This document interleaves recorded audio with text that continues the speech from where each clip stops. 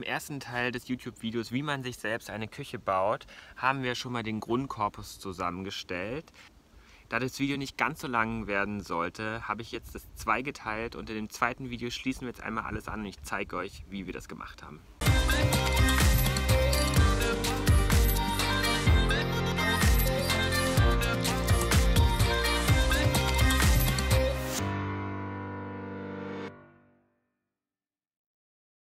Ehrlich gesagt bin ich mit meinem Latein ein bisschen am Ende, was das Fenster betrifft. Hier unten in der Falz sind zwei Löcher, die ähm, da sind ab Werk. Ich mir das aber ehrlich gesagt nicht erklären kann, warum das so ist. Die einzige Lösung, die ich jetzt erstmal dafür habe, ist, das Fenster einfach nur mit Sikaflex so zuzumachen, dass es ähm, dicht ist, weil es läuft einfach Wasser rein. Ähm, ich würde vermuten, dass hier nicht das originale Fenster drin ist. Wäre meine einzige Erklärung dafür. Und dass hier wieder ein Fenster rein muss, was halt kein, ja nicht zum Öffnen ist. Da ich jetzt erstmal keine Lösung für dieses Problem habe, werde ich es einfach mit Sika zumachen, damit es alles dicht ist und damit es in Zukunft dann nicht mehr reinläuft. Aber Hauptsache ist, wir können jetzt erstmal weitermachen am Fahrzeug und es regnet hier nicht mehr rein. Das Walnussholz oben ist jetzt schön fest. Das haben wir von unten mit Schrauben gemacht. Eine Million Schrauben. Aber besser als zu kleben, weil wenn wir da nochmal irgendwas lose machen müssen von, müssen wir die ganze Sache abreißen. Das will ich nicht. Deswegen haben wir alles geschraubt mit vielen Schrauben. Als nächstes werden wir die Platte einmal richtig schön anschleifen mit der Maschine, mit dem Winkelschleifer am besten, damit alles schön plan ist. Und dann können wir es mit Parkettkleber beziehen.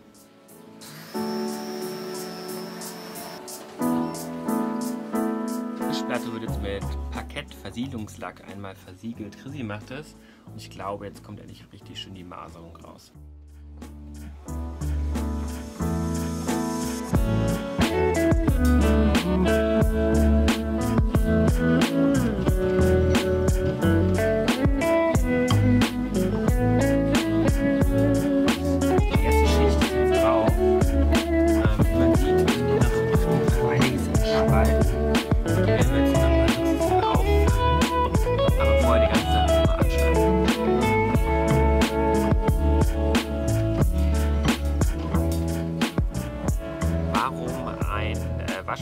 Waschbecken selber bauen. Relativ einfach für mich. Ich habe keine Lust, so viel Geld dafür auszugeben.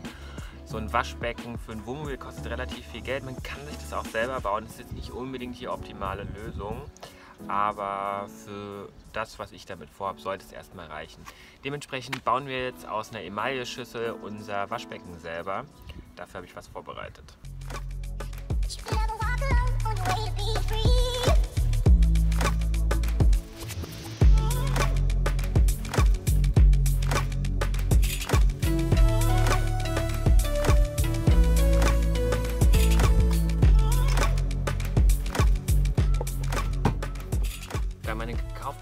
Konstruktion für die Tankhalterung natürlich wieder nicht passt, wie so vieles bei diesem Fahrzeug, muss ich mir halt selber eine bauen. Dafür fahre ich in den Baumarkt, hole mir die einzelnen Teile dazu, weil eigentlich ist es nicht so kompliziert, ja nur ein bisschen zu faul dafür. Dann flexen wir uns die Teile zu.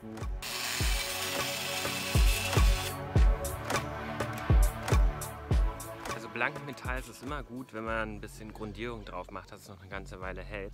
Gerade wenn es unter dem Fahrzeug ist und da mal Wasser hinkommen kann. Man kann es auch ohne machen, aber ähm, das wird nicht für ewig. Jetzt ist es Zeit, die Löcher in den Tank reinzubohren. Das machen wir.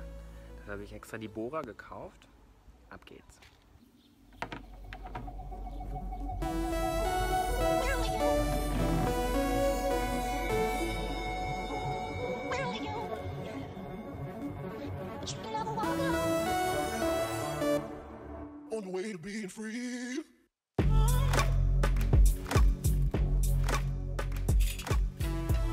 Hier haben wir den Tank. Den machen wir jetzt mal fest. Dafür haben wir dieses Riesenteil gekauft, was nur in die Bohrmaschine geht. Das ist auf jeden Fall mal ein Bohrer, würde ich mal sagen. Dieser Bohrer hier ist einfach mal das Monstrum schlechthin. Du brauchst richtig Gewalt, um das durch das Metall durchzudrängeln. Aber es passt.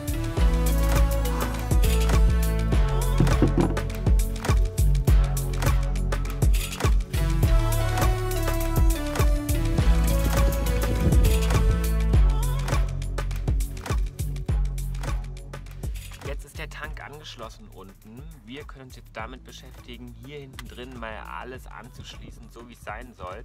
Dafür fangen wir mit der Pumpe an. Hier muss ein bisschen Elektrik verlegt werden. Die braucht nämlich 12 Volt Strom. Das schließen wir jetzt als allererstes mal an.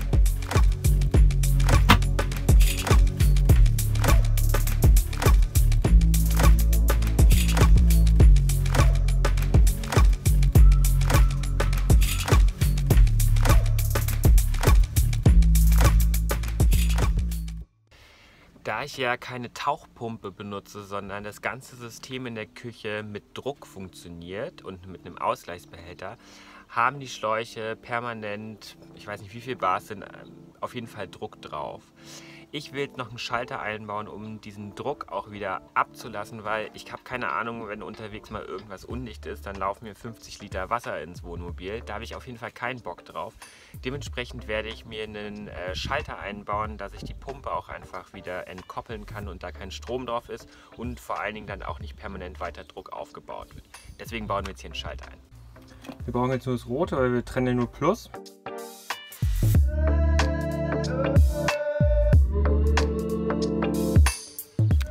Haben wir alles angeschlossen am Schalter von Utronic. Sollte passen. Testen wir jetzt mal wieder die Sicherung rein von der Batterie. Sicherung. Das Wasser geht hier rein. Dort füllen wir mit einer Gießkanne oder einem Wasserschlauch oder was auch immer. Dann müssen wir jetzt einmal unter das Auto kriechen. Fließt es hier durch diesen Schlauch in diesen 50 Liter Tank. Da sammelt es sich, dann fließt es hier raus hier ist noch ein Absperrhahn. Dann geht es einmal durch das Fahrzeug durch. Auf die andere Seite des Fahrzeugs, weil da ist ja die Küche. Dort geht es dann einmal hier unten wieder rein in den Vorfilter, vom Vorfilter dann in die Pumpe, dann von der Pumpe in den Ausgleichsbehälter und vom Ausgleichsbehälter geht es dann hier hoch in den Wasserhahn. Das ganze System ist jetzt angeschlossen. Wir testen es jetzt mal.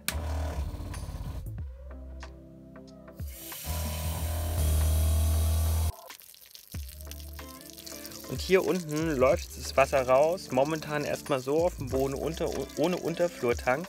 Der nächste Arbeitsschritt, diese Platte zu Schubladen machen.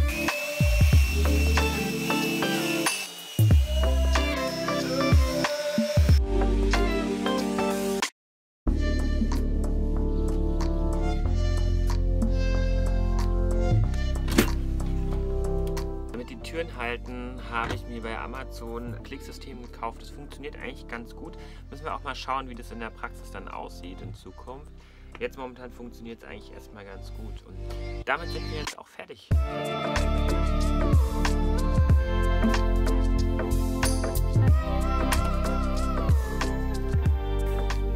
In den Schubladen sieht ein bisschen unordentlich aus. Dadurch, dass jede Woche ein YouTube-Video rauskommen soll, habe ich es nicht fertig geschafft, alles in der Küche so fertig zu bauen, wie ich mir das vorstelle. Das mache ich jetzt noch. Ähm, was habe ich mir dabei gedacht, eigentlich hier keinen Kocher mehr einzubauen? Das hat einen ganz einfachen Grund. Und zwar haben wir bei der letzten Reise gar nicht so viel die Küche benutzt, wie wir uns das eigentlich vorgestellt haben drin, sondern wir haben eigentlich immer draußen gekocht, weil draußen war es immer schön warm und man war sowieso die ganze Zeit draußen. Dementsprechend habe ich mir jetzt ein System gekauft, was nur noch darauf basiert, dass man einen mobilen Kocher hat. Wir können also die Fläche hier innen dafür benutzen, können den Kocher aber auch einfach mit rausnehmen, um da zu kochen. Das macht irgendwie am meisten Sinn. Ich habe mir dafür den Primus Kocher gekauft mit einer ähm, Campinggas-Gasflasche. Wir können dadurch auch den, äh, oder die Gasabnahme umgehen. Das ist ja auch irgendwie ziemlich cool, dass man das so machen kann. Ähm, ich zeige euch jetzt mal, wie dieses System funktioniert dazu hier die Campinggasflasche. Äh, und hier haben wir das Verbindungsstück. Da ist ein, schon Standard ein Druckminderer dran. Den können wir einfach hier an die Campinggasflasche dann ranmachen.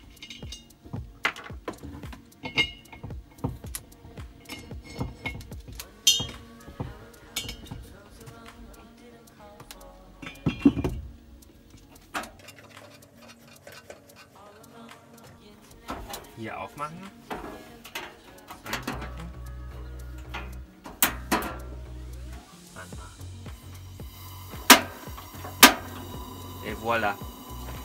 Ist ein einfaches System. Natürlich muss man das immer wieder auf- und abbauen, ähm, aber das sind die Kompromisse, die man in so einem Wohnmobil machen muss. Dementsprechend finde ich das besser so als ein fest verbautes System, weil ich kann dieses ganze Teil mit der Flasche nach draußen nehmen.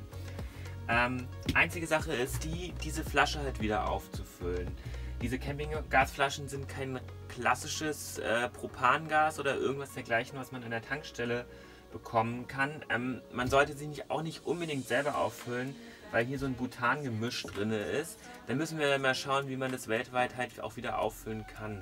Europaweit sollte es laut Campinggas kein Problem sein. Ich habe es in Riga jetzt auch schon einmal aufgefüllt, das hat gut funktioniert. Müssen wir dann immer in der Praxis testen. Auf jeden Fall ist dieses System, so wie es da ist, für mich jetzt erstmal das Optimum, was ich mir so vorstellen kann. Weil wir haben hier Freifläche, wir können draußen kochen.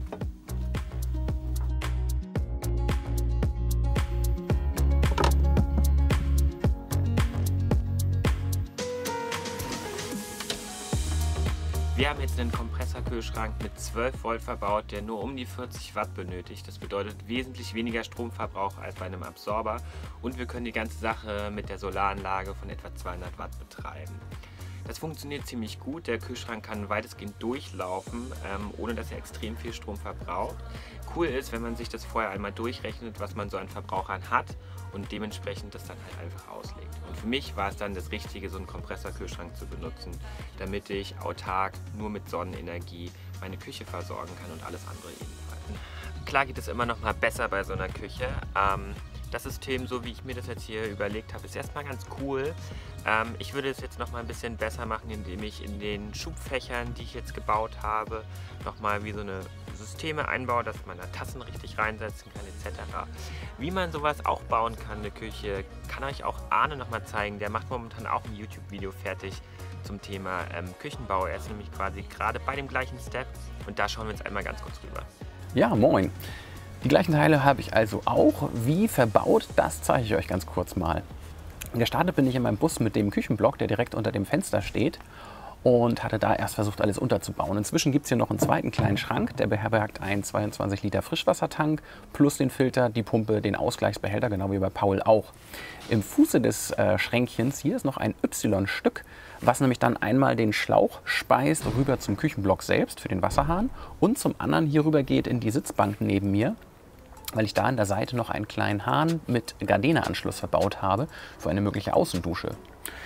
Ähm, damit das auch alles so funktioniert, wie ich mir das vorstelle, muss ich gerade den Boden auch nochmal neu machen, weil ich nämlich die Schlauch, die Schläuche von der einen zur anderen Seite und auch hier rüber nochmal neu verlegen muss, schön unter dem Fußboden. Aber wenn das fertig ist, dann gibt es nochmal ein neues Video-Update in der Zukunft dazu.